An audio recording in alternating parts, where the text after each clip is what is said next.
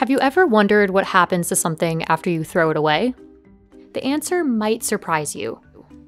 Our waste ends up in landfills, processing plants, and recycling centers all over the world. From computers to avocado pits, here's where six things go after they're discarded. Old tires are turned into electricity at a power plant in eastern Turkey. These machines chew up and burn thousands of tires every day. This not only generates power for 30,000 homes, it also helps reduce the billions of tires that end up in landfills every year. The process is becoming more popular across the globe as well, with similar plants being built in China, Canada, and the United States. Our electronic devices are not made with recycling in mind. They're full of many different materials, some of which are toxic. Each tiny piece within a phone or laptop has to be separated and recycled individually. Because the recycling process is so difficult, professionals view it as a last resort option. In fact, just 17% of electronic waste is recycled.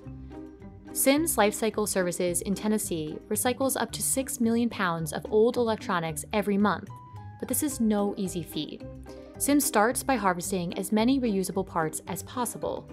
Then, a variety of machines are used to process the remaining materials. Leftover bars of soap and toiletries from hotel chains like Marriott and Hilton are recycled through Clean the World. Soap is collected and sorted at the hotels, then shipped to one of Clean the World's recycling facilities. There, the bars are sterilized, ground up, and molded into new bars. Since kicking off in 2009, the organization has donated over 50 million bars of soap to people in need all over the world.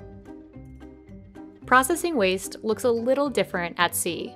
On Royal Caribbean's Symphony of the Seas cruise ship, crew members separate cardboard, plastic, metal, and glass for recycling.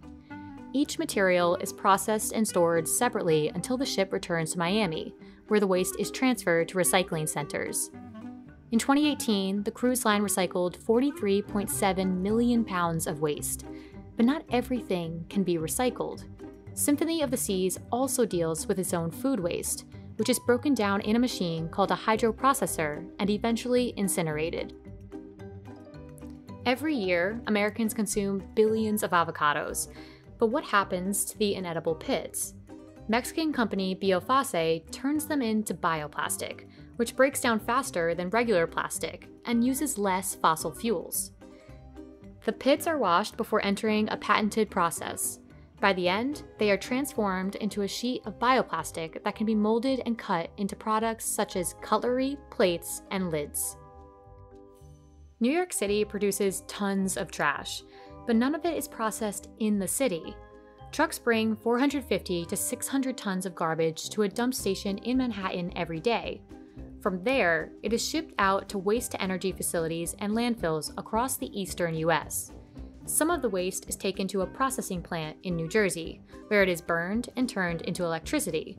The trash is dumped into this pit, which holds 8 to 9,000 tons of garbage. Giant claws transfer waste to the incinerator, where it is burned at 200 degrees Fahrenheit. All that's left after incineration is ash and metal. After the metal is removed with a magnet, the ash goes to cover landfills.